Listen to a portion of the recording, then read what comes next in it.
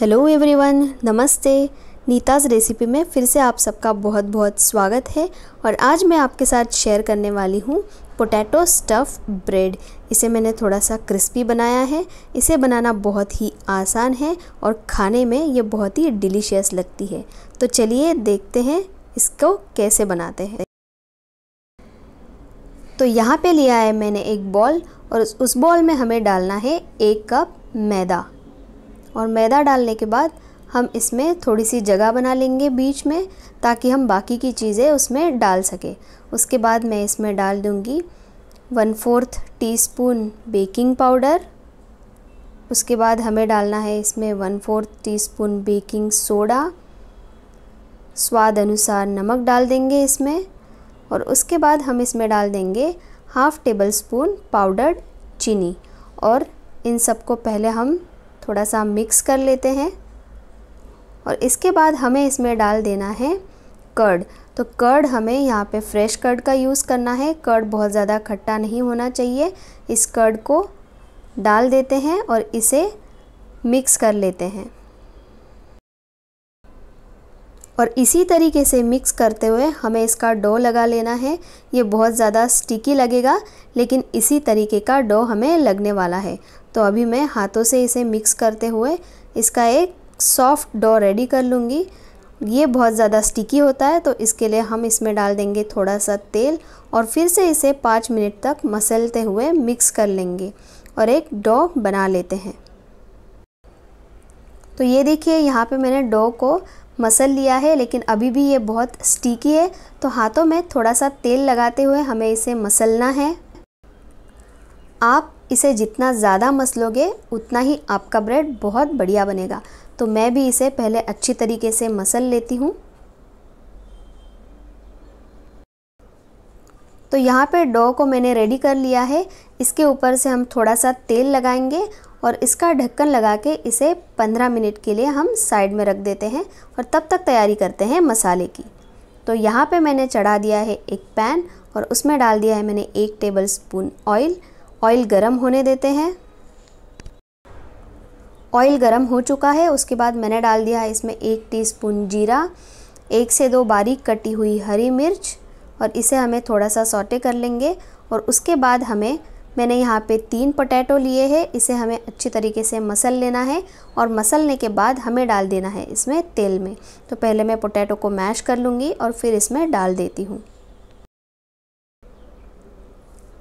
तो चलिए पोटैटो को मैंने मैश कर लिया है, अभी हम इसमें डाल देंगे और इसे भी अच्छी तरीके से तेल में मिक्स कर लेते हैं।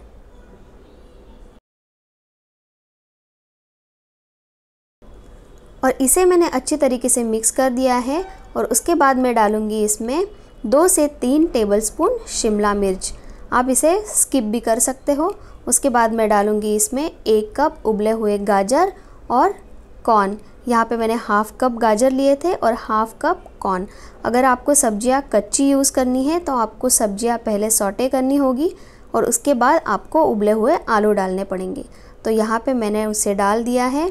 अभी मैं इसे थोड़ा सा मिक्स कर देती हूँ और उसके बाद हम इसमें डाल देते हैं स्पाइसेस स्पाइसेस में हम डालेंगे एक चम्मच लाल मिर्च पाउडर हाफ़ टी स्पून गरम मसाला। हाफ़ टी स्पून डालते हैं काली मिर्च का पाउडर। हाफ़ टी स्पून डालेंगे इसमें चाट मसाला और यहाँ पे मैं एक टीस्पून ऑरिगेनो डालूँगी। अगर आपके पास ऑरिगेनो नहीं है तो आप इसको स्किप भी कर सकते हो या आप मिक्स हर्ब भी इसमें डाल सकते हो। तो इसे भी मैं डाल दूँगी थोड़ा। इसके बाद हमें इसमें डालना है दो चम्मच रेड चिली सॉस। अगर आपके पास रेड चिली सॉस नहीं है तो आप इसमें लाल मिर्च पाउडर थोड़ा सा ज़्यादा डालिए। और या तो आप इसकी जगह हरी चटनी भी डाल सकते हो और इसे डालकर हमें अच्छी तरीके से जब तक ये सारे मसालों में अच्छे से लग ना जाए, तब तक इसे भून लेना है। इसमें डाल देना है स्वाद अनुसार नमक और इसे अच्छी तरीके से हम मिक्स कर लेंगे।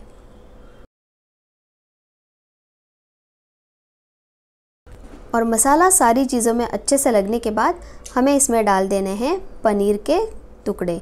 तो यहाँ पे मैंने पनीर को बारीक बारीक कट कर लिया है और इसे अभी मैं डाल दूँगी। आपके पास पनीर नहीं है तो आप इसे स्किप भी कर सकते हो।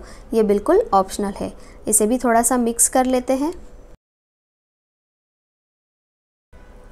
पनीर डालने के बाद भी मैंने इसे मसालों में अच्छी तरीके से मिक्स कर लिया है और लास्ट में हम डाल देंगे इसमें कटा हुआ हरा धनिया।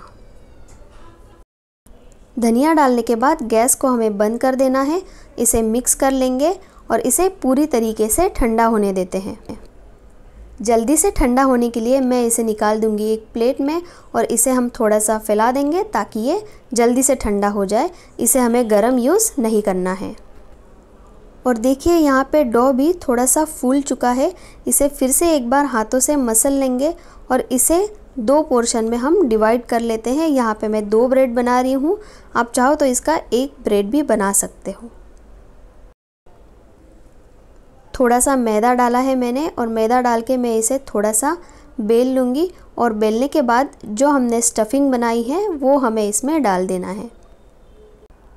हमें इसे थोड़ा सा मोटा ही बेलना है और बेलने के बाद हम इसमें स्टफिंग डाल देते हैं।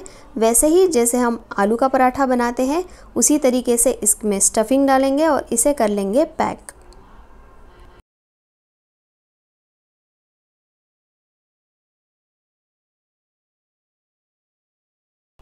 और स्टफिंग भरने के बाद हमें इसे अच्छी तरीके से पैक कर लेना है ताकि मसाला बिल्कुल भी बाहर ना निकले। और फिर से थोड़ा सा मैदा स्प्रेड करके हम इसे रखेंगे और हाथों से ही ऐसे प्रेस करते हुए हम इसे रेडी कर लेंगे। आप चाहो तो इसे बेल भी सकते हो, लेकिन ये फटने का डर रहता है, इसलिए हम इसे हाथों से ही प्रेस करेंगे।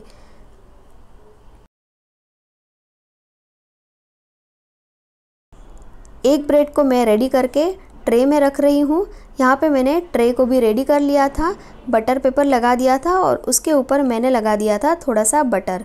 और अभी इसी तरीके से मैं दूसरी ब्रेड को भी रेडी कर लेती हूँ। अगर आप अवन में इसे नहीं बना रहे हो तो आपको एक कढ़ाई को प्रीहीट करना पड़ेगा और उसमें ये ब्रेड को रखते हुए हमें इसे बेक करना है। और अभी दोनों ब्रेड को थोड़ा सा उंगली से प्रेस कर लेंगे। और अभी इसके ऊपर से मैं लगा लूँगी थोड़ा सा ऑयल या आप चाहो तो इसके ऊपर से भी बटर लगा सकते हो। और ऑयल लगाने के बाद हमें इसके ऊपर से डाल देना है चीज़ तो यहाँ पे मैंने पहले ही चीज़ को ग्रेट करके रखा था और इसके ऊपर से अभी मैं बहुत सारा चीज़ डालूँगी। आप आपके पसंद के अनुसार कम या ज़्यादा चीज़ इसमें डाल सकते हो। चीज़ को अच्छी तरीके से फैलाने के बाद मैं इसमें डाल दूँगी। कटा हुआ हरा धनिया, दोनों ब्रेड पे डाल देंगे और उसके बाद फिर से मैं इसमें डाल दूँगी थोड़ा सा ऑरिगेनो। ये यहाँ पे भी बिल्कुल ऑप्शनल है। और ऑरिगेनो डालने के बाद हमें इस पर डाल देना है थोड़ा सा चिली फ्लेक्स। और इस तरीके से हमें दोनों ब्रेड को रेडी कर लेना है। और सबसे लास्ट में इसे थोड़ा सा सफ़ेद तिल डाल के गार्निश करूँगी। साइड से हम डाल देंगे थोड़े से सफ़ेद तिल। इसके वजह से है, जो ब्रेड को बहुत ही बढ़िया कलर आता है तिल की वजह से। तो इसे मैं सब साइड से डाल दूँगी। और यहाँ पे दोनों ब्रेड बन के रेडी हो चुकी है और अभी हमें इसे बेक कर लेना है। मैंने अवन को पहले ही प्रीहीट करने के लिए रख दिया था। अगर आप इसे अवन में नहीं बना रहे हो तो आप इसे कढ़ाई में बनाइए। कढ़ाई में भी ये बहुत ही बढ़िया बनेगी। यहाँ पे हमें इसे सेंटर में रखना है। टेम्परेचर हमें यहाँ पे 180 डिग्री रखना है और इसे हमें 20 मिनट के लिए अच्छे से बेक कर लेना है। तो ये देखिए, यहाँ पे मैंने 20 मिनट बाद ब्रेड को निकाल लिया है बाहर और उसके ऊपर से मैंने डाल दिया थोड़ा सा चीज़। यहाँ पे मैंने ब्रेड को थोड़ा सा ज़्यादा सेका है। अगर आपको थोड़ी क्रिस्पी ब्रेड नहीं चाहिए तो आप इसे पाँच मिनट के लिए कम बेक कीजिए। तो आप देख सकते हो कितना बढ़िया कलर आया है और खाने में भी ये बहुत ही बढ़िया बनी है। तो आप भी इस ब्रेड को ज़रूर ट्राई कीजिए।